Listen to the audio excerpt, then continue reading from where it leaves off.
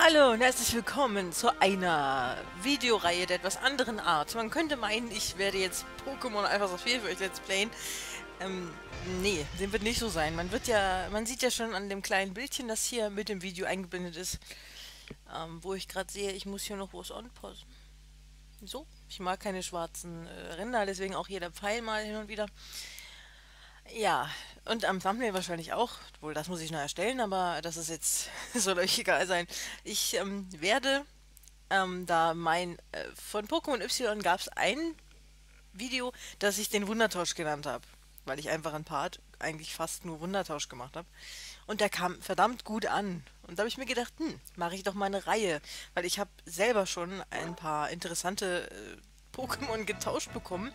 Das letzte sogar ähm, heute Nacht erst, ja, ich habe das System gewechselt, weil ich vorhin auf meinem großen 3DS gespielt habe. So, gleich mal die Internetverbindung äh, starten. Hier seht ihr auch mein, meine Spielstunden und so. Ich habe nur Ramot dabei, weil ich ähm, nach wie vor Shinies züchte. Im Moment an einem Wulpix dran bin, das einfach nicht kommen will. Ich habe fast 600 Eier gebrütet und immer noch keins. Ja, aber da ich auch so viel Material habe für Wundertausch, habe ich mir gedacht, hm, mache ich mal so eine Reihe an Wundertausch-Videos. Mal sehen, wie das bei euch so ankommt. So, online sind wir. Jetzt zeige ich euch mal schnell die Box. Da gibt es so ein, zwei Sachen, die ich gerne mal zeigen möchte. So, ähm, also Frankreich-Box. Das ist erstmal nichts Besonderes. Das allerdings schon. Das habe ich nämlich aus dem Wundertausch bekommen. Shiny Curem Level 50. Und es ist ja auch kein gecheatetes, wie man an diesem äh, blauen Symbol neben dem roten Sternchen sehen kann. Da hat wirklich jemand Soft Reset gemacht, bis zum Blödwerden wahrscheinlich, weil bei den Legis dauert das immer verdammt lange, soweit ich das mitbekommen habe. Und tauscht dann seinen Kyurem weg. Ja, mir soll es egal sein. Ähm, ich behalte ihn. Also ich bin happy. Was ich vorhin bekommen habe, die Box hier ist komplett wundergetauscht, war das hier. Ein Shiny Staraptor. Level 50 hat sechs maximierte Werte, wenn ich dem glauben darf. Ich habe es noch nicht nachgeprüft, aber ich denke mal, es wird tatsächlich so sein. Hat einen Wahlschal, hat verdammt gute Attacken. Wir gehen das Ganze mal durch. Ich habe mich schon gewundert, als ich ihn gekriegt habe. Ist der shiny, weil er diese blaue, äh, diese blauen Federn hat am Kopf. Hat einen Wahlschal, hat Kehrtwinde, Einzahlung, Nahkampf und Sturzflug. Und die Fähigkeit Achtlos verstärkt Attacken mit Rückstoßschaden. Was eben bei, nah bei Sturzflug sehr äh, gut ist. Obwohl, Nahkampf... Nee, Quatsch, Nahkampf nicht. Rückstoß auf jeden äh, Stoßflug auf jeden Fall ist mit Rückstoßschaden verbunden. 120 ähm, Stärke, dann ist er noch Flugtyp, das ist noch gesteppt. Das ist eigentlich richtig geil. Also mit dem kann man tatsächlich auch mal online arbeiten, wenn ich mal ein Flug-Pokémon äh, mit ins Team nehmen will. Ich wollte ihn sowieso züchten, also von daher bietet sich das hier auch perfekt an. Und sein Wesen... Ähm, was hat er denn für ein Wesen? Wesenfroh. Offenbar aus dem Ei geschlüpft, am 1.5.2015. Mhm. Also das Wesen senkt den Spezialangriff, den Staraptor nun wirklich überhaupt nicht braucht. Und stärkt die Initiative. Das ist sehr, sehr schön. Das ist, äh, dann gibt es hier noch so Sachen wie Nidoqueen zum Beispiel. Oder Driftzeppeli, Pelipper, Kangama. Man hat hin und wieder halt mal, ähm, ich benutze auch manche Pokémon, äh, denke ich mir, ich, ich bringe die einfach mal weg und gucke, wie die Werte sind. Ob ich mit denen vielleicht züchten kann. Hier, dieses ähm, Glumanda wäre ein guter Fall, weil er Drachentanz hat. Und das finde ich bei Glurak wirklich gut. Platte.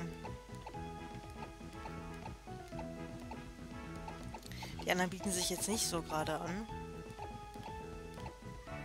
Na gut, hier. Trasler ist noch ganz irgendwie nett. Abgangsbunt. Hm. Aber naja, gut. Da ich meine Zucht am äh, machen bin, habe ich hier, wie ihr im kleinen Bildchen sehen könnt, ordentlich Woolpix mittlerweile schon. Und ich denke mir, ich werde pro Part eine halbe Box tauschen. Also bis hier, bis einschließlich diesen, dem dritten aus der dritten Reihe, weil das lang genug dauert. Und nun ja, fangen wir mal an. So. Der Part wird länger dauern, weil ich habe mal so eine Uhr nebenbei laufen lassen, als ich schon mal so äh, angefangen habe mit dem Tauschen.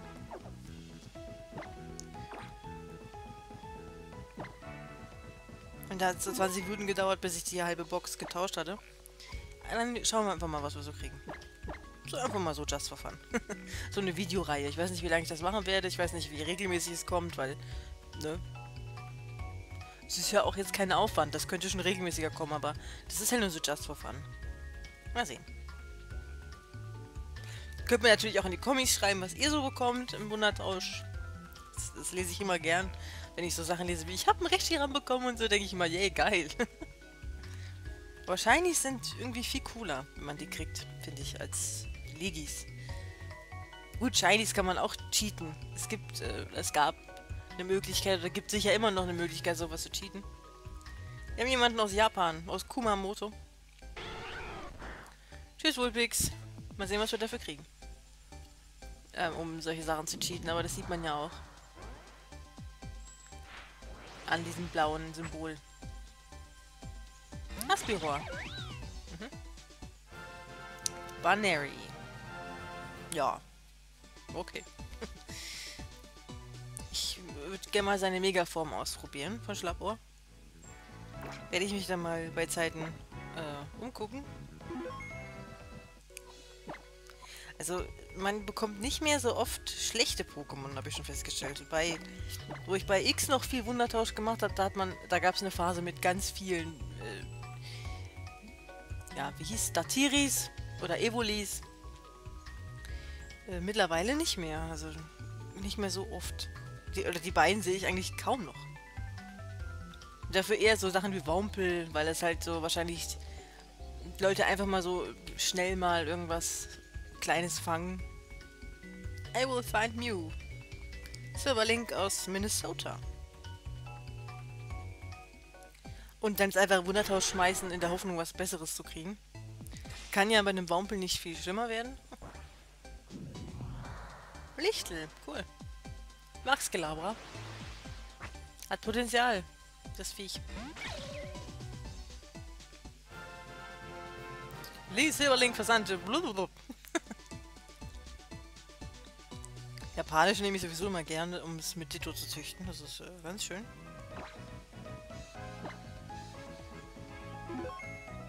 Das Nervige ist mal, dass man vorher speichern muss. Das finde ich echt daneben. Das braucht es nicht. Ja, schwebe durch. Mir wäre Flammenkörper lieber. Bei einem Lichtel. Kann das über... Ja, klar. Kann der Flammenkörper natürlich. Wäre mir ehrlich gesagt lieber.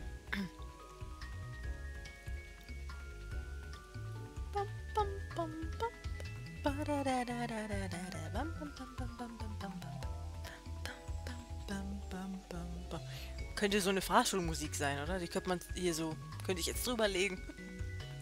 Claire, mhm, aus Japan. Ibaraki.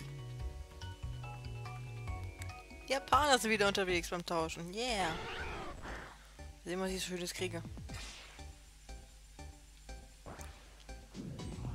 Ein Trassler. Mhm.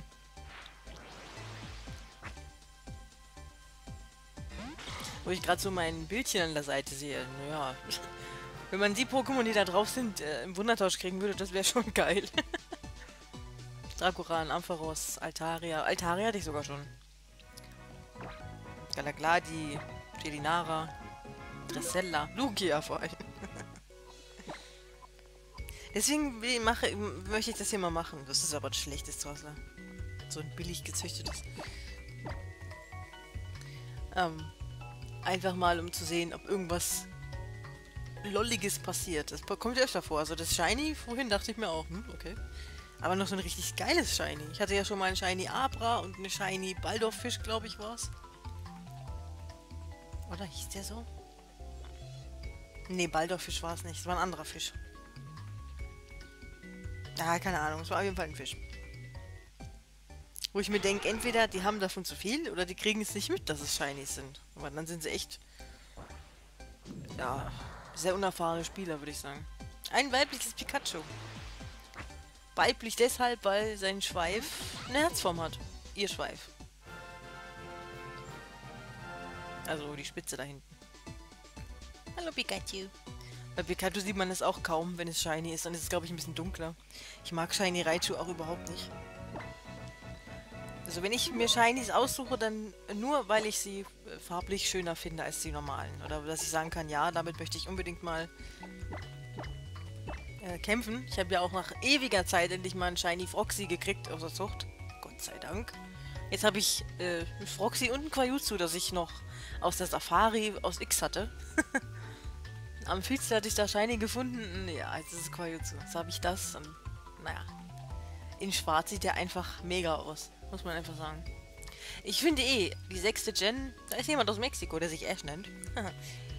ähm, die sechste Gen hat viele schöne Shinies vorgebracht. Früher gab es ja viel rosane Shinies, grüne Shinies. Vor allem, ich meine, bitte euch, Dragoran Shiny ist grün. Kurz grün. Äh, Hut, Hut. Was ist mit dir passiert? Du bist ja größer als Wulpix. Was geht? Ja.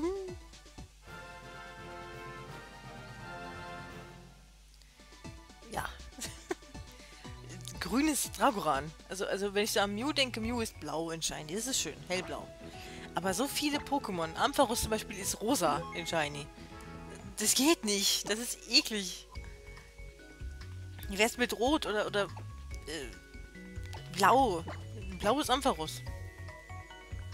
Gelb ist schon prima, weil es auch zum Typ passt. Elektro, klar. Aber äh, rosa oder grün? Also es geht überhaupt nicht. Hier so Altaria ist, ist äh, golden, also zumindest der Körper.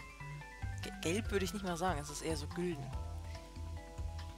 Ähm, Felinara ist ganz, ganz hübsch, finde ich. Es ändert sich nicht viel, aber es ändert sich was. Die Pain aus Kalifornien. Banana. Dressella ist, glaube ich, auch ganz schön, äh, ganz schön in Shiny, aber ich glaube, in normal finde ich sie doch besser. Und Galagladi ist auch geil in Shiny, weil er ja dann blau ist, so ein Teil. Das Grüne bei ihm ist dann blau. Aber die sechste Gen hat viele schöne Shinies rausgebracht, finde ich. Absol.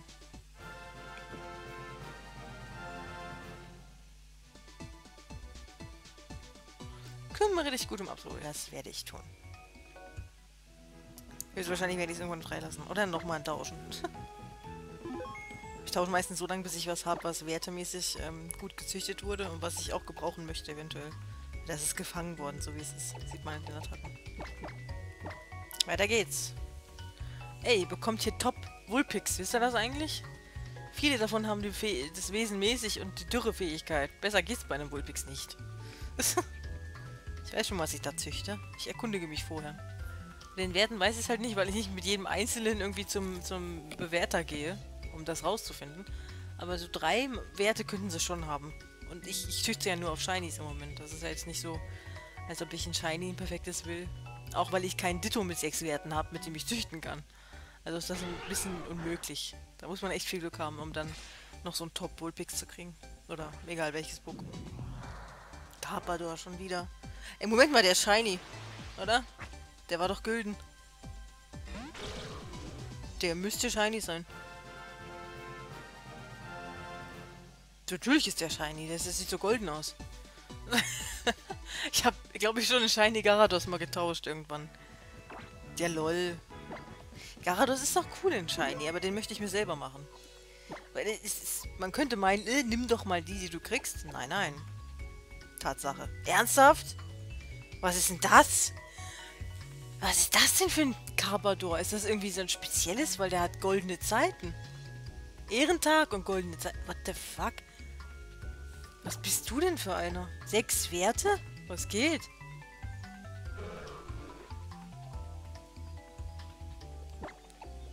Das Pokémon gratuliert dir zum Geburtstag goldene Zeiten. Nach Einsatz der Attacke goldene Zeiten verdoppelt sich das Preisgeld, das du im Fall eines Sieges erhältst. Wenn jemand weiß, wo dieses Carpador herkommt, das muss ja irgendwie ein japanisches Spe Special Carpador sein. Also der Ball ist ja auch ein äh, Eventball, sag ich jetzt mal, dieser rote. Das ist geil. also den behalte ich auf jeden Fall. Äh, wo war ich? Ja, ähm... Bei den Shinies. Man könnte meinen, ich, ich könnte ja die Shinies benutzen, die ich kriege. Na, aber der, der Reiz für mich daran ist, selber ein Shiny zu züchten, damit die Werte für mich stimmen, damit das Wesen stimmt, weil ich kann das ja alles beeinflussen. Und damit ich vor allem einen Spitznamen verteilen kann. Weil das, da liegt mir viel dran, dass ich Spitznamen verteile. an meinen eigenen Pokémon, die ich in meinem Team dann fest habe. Ich weiß nicht, es fühlt sich besser an. Das war schon immer so bei mir, dass ich die meine Lieblings-Pokémon oder die, die in meinem Team halt sind, mit Shinies äh, Namen benenne. Looking for Shiny Mega Evos. Mhm. Ja, ich auch. Deswegen habe ich mir Shiny Taubsi gemacht, weil ich mal sehen will, wie Mega Taubos aussieht. In Shiny. Fleckmon. Da denkt man nichts und kriegt gleich so ein cooles äh, Carpador. ja, cool. Ich dachte, es ist einfach nur so ein geangeltes Carpador irgendwie, weil die kriegt man ja schnell. Angeln ist ja nicht so schwer. Beim Angeln kriegt man ja am schnellsten die Shinies. Aber das ist kein normales Carpador gewesen. Das habe ich schon am Ball gesehen. Du bist auch gefangen worden, so wie du bist, denke ich. Ja, sieht so aus. Der Part wird lang gehen. Allerdings ist er von der Megabyte-Zahl her nicht wirklich groß. Also das ist schon schön. Gucken, was noch kommt. Das ist schon wieder das erste Video davon und schon so ein LOL-Part mit so einem Carpador. Finde ich cool. Wahrscheinlich so eine Verteilung, die wir in Europa wieder mal nicht gesehen haben. Weil ich wüsste jetzt nichts davon. Ich habe in letzter Zeit, also, glaube alle Pokémon mir geholt von GameStop und so, die man hat kriegen können. Oder die drei Starter mit diesen speziellen Fähigkeiten hier. Äh, Tonupto und so weiter. Megani und Impagator. Schwalbini. Ja, mag ich auch, Balbos. Eigentlich mag ich alle Vögel. Also die Startervögel in jeder Gen. Die sind eigentlich irgendwie alle cool. Äh, bis auf Fiaro, der ist mir... Der wurde mir viel zu oft benutzt in, in Online-Battles anfangs. Ich weiß nicht, ob das heute noch so ist. Ich habe schon lange nicht mehr online gespielt. Also gegen Wildfremde, gegen meine Freunde. Klar, hin und wieder gibt es dann noch ein Kämpfchen. Aber so online gegen andere habe ich schon lange nicht mehr gespielt. Ob Fiaro noch so oft benutzt wird, weiß ich nicht. Und zu Beginn war das schon oft der Fall. Aber ansonsten, selbst ja, Fasersnoop, jetzt fünfte Gen, mag ich auch. Ist auch ganz okay. Habe ich im Moment aktuell in meinem privaten Schwarz 2 Spiel. Sogar im Team. Ja, ist ganz okay. Kann man mitleben. Ich habe auch äh, sehr oft Taubos im Team. Allein schon, weil ich was brauche, was fliegen kann. Dann bleibt Taubos halt drin. Das bewährt sich auch in manchen Situationen sehr gut. Gegen Pflanzen, Pokémon, Käfer. Glaube ich, war Käfer, ne? Und Kampf vor allem macht sich Taubos gut. Tschüss, Wulpix. Das ist keine Ahnung, wie vielte schon, dass ich bisher getauscht habe. Wieder Fleckmon, okay. Ich glaube, ich muss eine Liste führen. Unter dem Video. Es gibt keine Videobeschreibung, sondern einfach nur eine Liste so, was für Pokémon getauscht werden. Das wird immer aktualisiert. Wer weiß, was da alles zusammenkommt. Das, also wenn ich es mal nicht mache, können vielleicht jemand von euch dran denken, die Pokémon zu zählen, welche es sind. Aber ich, ich hoffe mal, dass ich dran denke. Ich werde das so machen.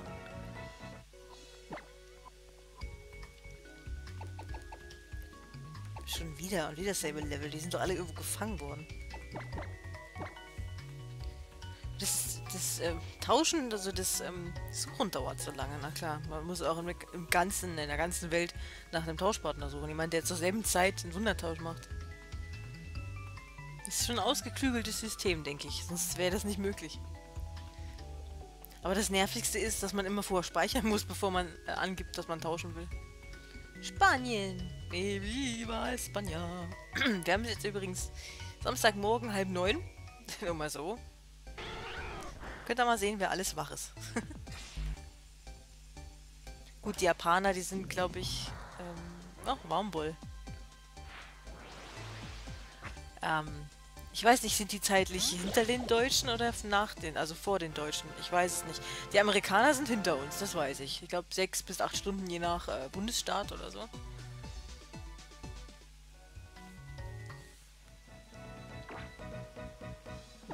Also Jeff könnte jetzt, äh, oder liegt jetzt wahrscheinlich, sehr wahrscheinlich im Bett, würde ich mal sagen. So wie wir es hier halb neun morgens haben. Obwohl, man weiß es nie. Aber ich will es mir auch gar nicht vorstellen. Fähigkeit Strolch. Okay. Hat die nicht auch, ähm, Zoberis? Ja. Ermöglicht einen Erstschlag mit Statusattacken. Ja. Ich weiß gar nicht, so was wird denn Baumbull nochmal? So was entwickelt der sich denn? Ne, Dressella war es auf keinen Fall. Dafür ist Baumbull zu hässlich, als dass etwas heller wird. Bei Womball weiß ich es echt nicht. Das vergesse ich irgendwie immer. So was der sich entwickelt. Tut mir leid. Es gibt über 700, 721 oder 22 Pokémon, glaube ich, mittlerweile. Da kann man sich nicht alles merken. Japan, mal wieder. Tschüss, Wolpix. Ich krieg mein Shiny Wolpix schon noch. Das Gute ist dann... Ach, davon habe ich... Am Anfang habe ich von Evoli geredet. Das erste Evoli seit langem. Cool. Möchte ich mir auch noch Shiny machen, auf jeden Fall. Da gibt es so ein, zwei Evoli-Entwicklungen, die ich gern Shiny hätte. Also Felinara auf jeden Fall. Sonst muss ich noch überlegen. Also Blitzer ist hässlich, der ist grün in Shiny. Das, äh, Blitzer auf keinen Fall. Bei den anderen weiß ich jetzt gerade gar nicht. Ich glaube nach Tara, äh, genau, Psyana müsste auch grün sein. Nach Tara hat anstatt die gelben Ringe um seinen Körper rum blaue, glaube ich. Ist auch recht interessant. Weiß nicht, blau ist eine Shiny-Farbe irgendwie cool. Sieht man ja zum Beispiel an Galagladi. Sieht recht cool aus in blau. Oder Austos ist auch blau, wenn der Shiny ist. Gut, Garados ist jetzt zum Beispiel rot von blau. Auch cool. Aber naja. Da gibt es auch wieder Pokémon, die sind schwarz halt, wie ähm, Heidin. Geil, Dean. Du musst sofort an Supernatural denken. Aus Hessen. Yay. Auch ein Frühaufsteher. Obwohl ich nicht aufgestanden bin, ich war die Nacht über wach. Wie gewohnt. Deckmark. Okay. Ich hab den Faden verloren. Lol. Slagma. Also du bist auf jeden Fall kein Deutsches. Oder sind Spitzname, das kann auch sein. Glaube ich aber nicht. Ich habe den Faden verloren. Ich glaube, Siana ist auch grün. Ah. ah, ja genau. Da gibt es die Pokémon, die schwarz sind in Shiny-Form. Wie zum Beispiel Quajutsu. Ähm, Punita hat äh, Galoppa bzw. hat schwarze Flammen oder graue Flammen, sagen wir mal eher. Und ähm, Vulnona ist auch dunkel.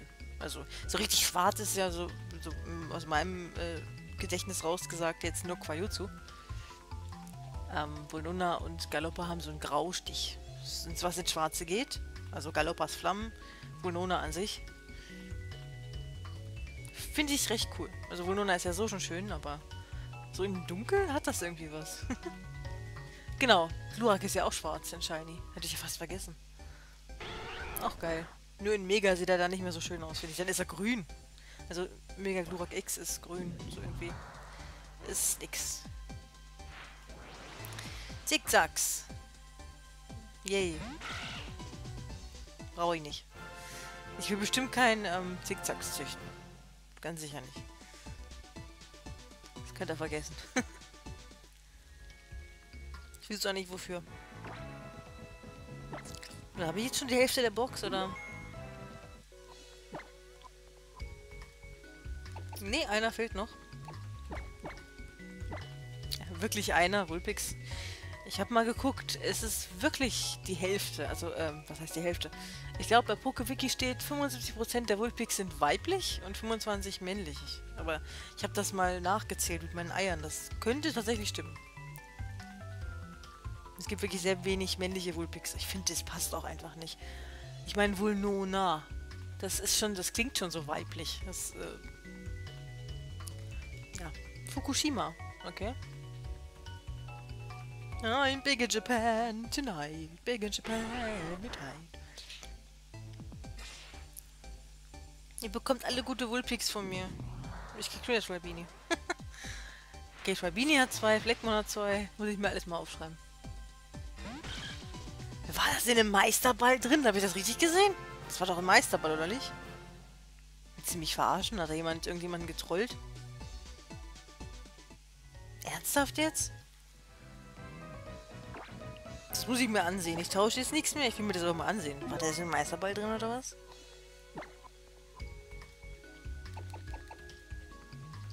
Tatsache, das ist in einem Meisterball gefangen worden. Es ist doch ein Scherz. Ihr seid soweit alle in äh, vertretbaren Pokebällen. Ja, er hier ist halt in diesem roten Eventball, ne? Meisterball Scholpini. Also es gibt skurrile Dinge. Wahnsinn. Okay. Nein, ich möchte jetzt nichts tauschen. Das reicht für den ersten Part. Der ist zeitmäßig auch schon lang genug. Ja, wir sehen uns wieder beim nächsten Part von äh, Let's Wundertausch in Omega. Quatsch, nicht Omega. In Alpha Saphir. Also, bis dann. Ciao.